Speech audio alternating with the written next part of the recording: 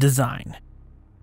The taxonomic history of North American troodontid dinosaurs has been in flux since they were first named. The original Troodon, Formosus, was named in 1856 based on teeth. This is a now frowned upon practice, as with dinosaurs, one cannot fully determine species or genera from teeth alone. Caution flown to the wind a bit led to a slew of more complete skeletal remains being referred to Troodon, resulting in the classic super smart giant-eyed handsy raptor-taloned theropod we all know and love. Some more specimens were named Stenonychosaurus inequalis in the 1930s. Some more bits were given the name Polyodontosaurus grandis.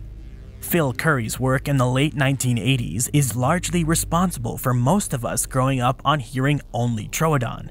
He synonymized Polyodontosaurus, Stenonychosaurus, Pectinodon, and Troodon together as it was thought that their differences were really indicative of differences in stages of growth rather than species. Paleoartist and researcher Gregory S. Paul did what old Paul does and threw in Saurornithoides of Mongolia, but that didn't stick. What also didn't stick was the combination Currie did.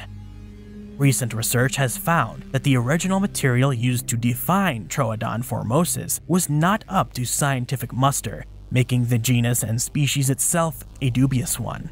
All diagnostic material in the Troodon genus belonged to distinct genera and species. Stenonychosaurus was resurrected to hold a bunch of Albertan fossils, and a bunch more were used to define a new genus and species, the rather large Latenivenatrix mcmasterae. There is yet another unnamed giant troodontid from Cretaceous Alaska, known for now only as the Alaskan troodont.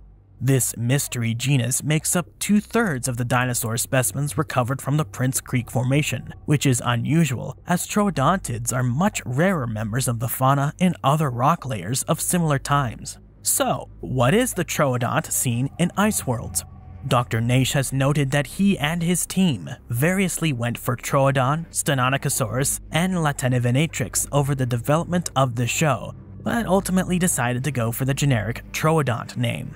Dr. Naish says this thing is human-sized, the segment is in a cooler forest in the Ice World episode that also contains segments that take place in Alaska, so it might be safe to assume this thing is based more on the Alaskan Troodont than any other Troodonts, besides maybe Latenivenatrix. The Troodont dinosaurs were technically not dromaeosaurs or raptors. Instead, they were their closest relatives. As their closest relatives, they shared a lot of similar traits, like a bird-like pointed skull, long skinny neck, huge arms with grasping hands, and giant pennaceous wings, long skinny legs ending in mobile feet with killer claws, and a long counterbalancing tail with a veined feather fan at the end. Compared to the most well-known group of dromaeosaurs, the eudromaeosaurs, the troodonts were more lightly built, with longer skinnier legs, more gracile feet and claws, and skinnier snouts. There were many exceptions, however, especially as you get to the big ones.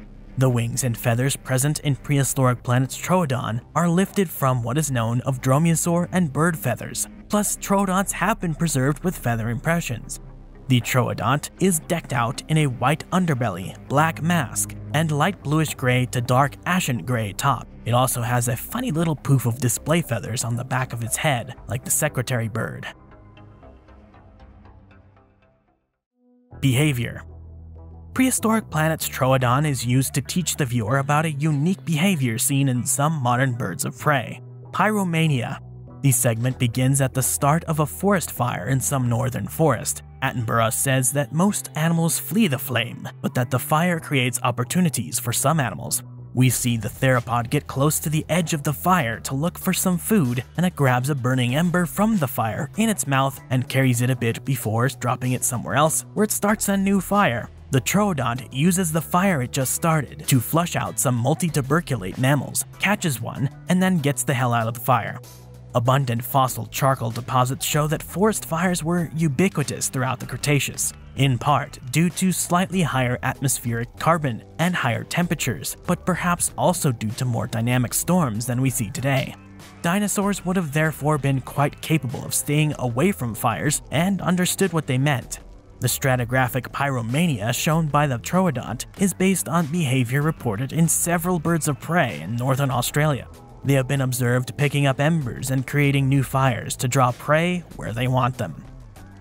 The exact level of intelligence, or even sapience, of the smartest troodontids cannot be known for sure, so one cannot so easily assume they were as intelligent as modern raptors, and could do the same things they could. However, one shouldn't discount the intelligence of these dinosaurs either, because some animals today that are considered stupid continue to shock us with intelligence or novel behaviors. The creators and scientists behind Prehistoric Planet wanted to illustrate how dinosaurs may have surprised us and illustrate this interesting piece of archosaur behavior we see today. For more interesting stories about nature, the history of life, or what goes bump in the night, subscribe, like this video, drop a comment in the comment section below, and hit the bell icon to stay in the know with everything Edge. Thanks for watching.